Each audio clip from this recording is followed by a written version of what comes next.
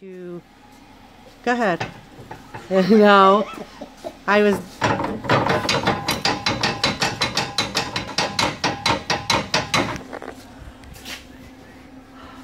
Who is this guy? Maybe we should hire him.